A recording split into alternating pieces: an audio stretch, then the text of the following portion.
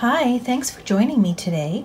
It's Geraldine from the Paper Puffin Studio, and today I'm going to show you how to make this card. It was inspired by Iced Images on YouTube. She does fabulous cards, and so I took her design and then made my own version. I hope you enjoy this video. If you do, please remember to give it a thumbs up and subscribe to my channel. Now let's get started. Let's begin by reviewing all the pieces you'll need to build this card. For your base color, you'll need one piece measuring four and a half by five inches, one measuring six and a half by five inches, two, each measuring one inch by 10 and three quarters, and an additional piece that I've cut out using the largest die cut from the layering ovals shapes, and this one is the plain one. You're also going to need a piece of white cardstock, and this piece measures 4 and 3 eighths by 4 and 7 eighths. You're going to stamp a sentiment on this, and this will be on the back of the card. You'll also need some scraps. So I have a scrap of three different colors. I'm going to be cutting out the mountains and a tree and some other trees, as well as the word happy. And these are coming from the Mountain Air bundle from Stampin' Up. You're also going to need a strip of window sheet. Hopefully you can see that here. And this piece measures one inch wide by four and a half inches long.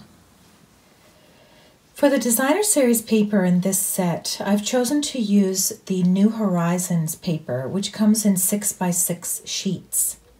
This allows me to get most of these pieces out of one sheet. So I went ahead and cut the sheet at the four and three quarter inch mark. And that gave me these three pieces that I could cut then. So I did three quarters of an inch by four and three quarters, four and a quarter by four and three quarters, and then three quarters of an inch by four and three quarters. There was a tiny little piece left over. For the bottom, these pieces are 2 inches by 3 quarters of an inch. I had to grab another piece in order to get the top colors that I wanted, and these as well measure 2 inches by 3 quarters of an inch. If you're using a different designer series paper, the way you cut them out to fit together is not as important. But because this is a background that has a scene, I wanted to make sure that the scene was continuous in the card. I went ahead and prepared all of the pieces to decorate the front of the card. So I die cut the word happy, stamped the word birthday with Memento Tuxedo Black. I cut out this tree in white. I used some soft suede and stamped the image of the trees in black, cut them out. And then on the blue cardstock, I stamped using Versamark and then I heat embossed some white over top of that to make them look like snow-covered mountains. I'm ready now to do the scoring. So taking the piece of the base color, which measured six and a half by five, I'm going to be scoring along the longest edge, the six and a half inch edge, and I'm going to score it at one inch and again at five and a half inches.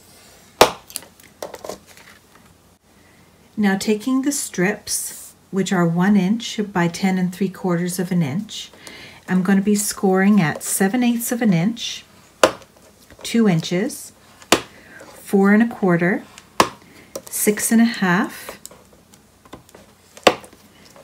8 and 3 quarters, and 9 and 7 eighths. I'll repeat that with the second strip. Again, at 7 eighths, two inches, four and a quarter, six and a half, eight and three quarters, and nine and seven eighths.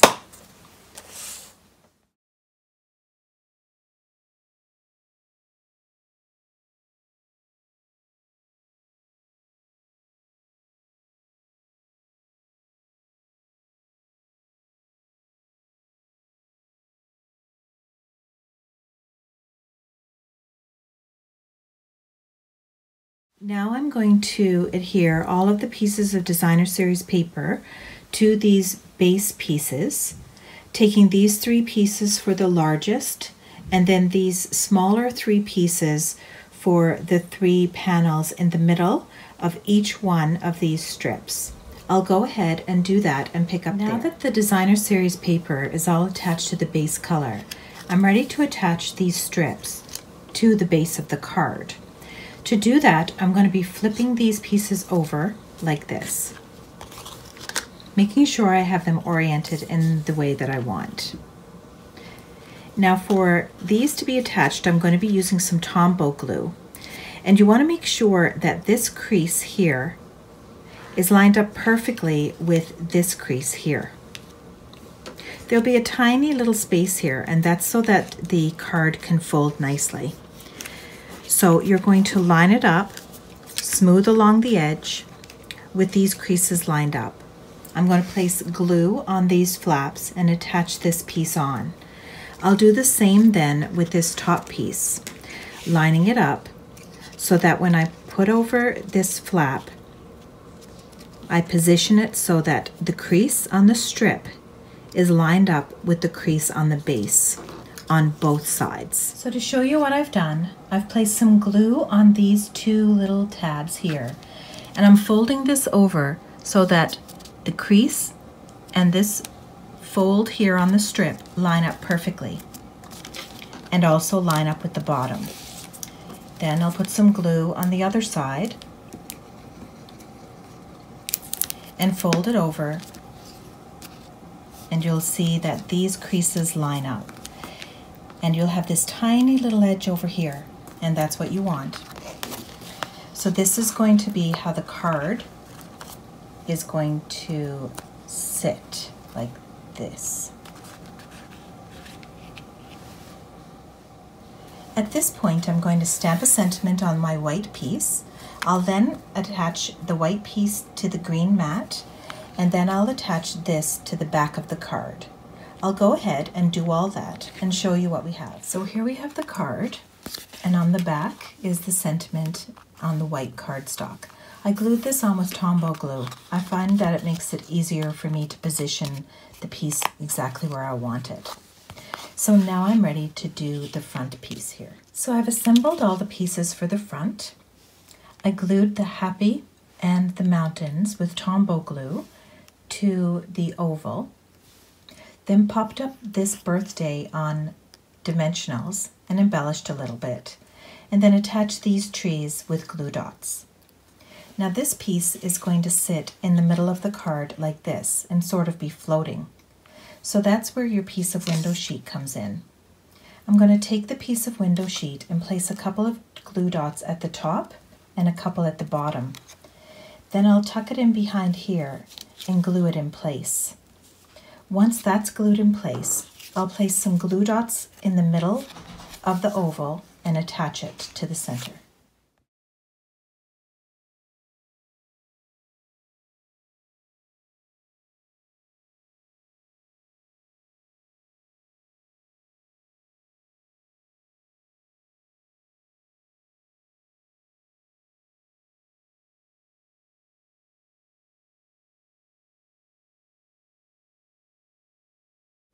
And so here I have the finished card. You can see that the center panel appears to be floating in the middle of the card. And when the card stands up for display, it stands like this. You can of course write on the back a message to the recipient.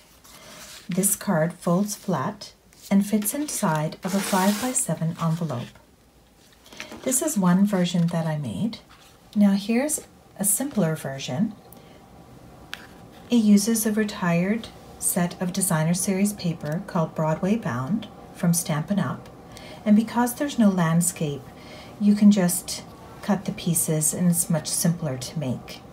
It also has less embellishments on the front.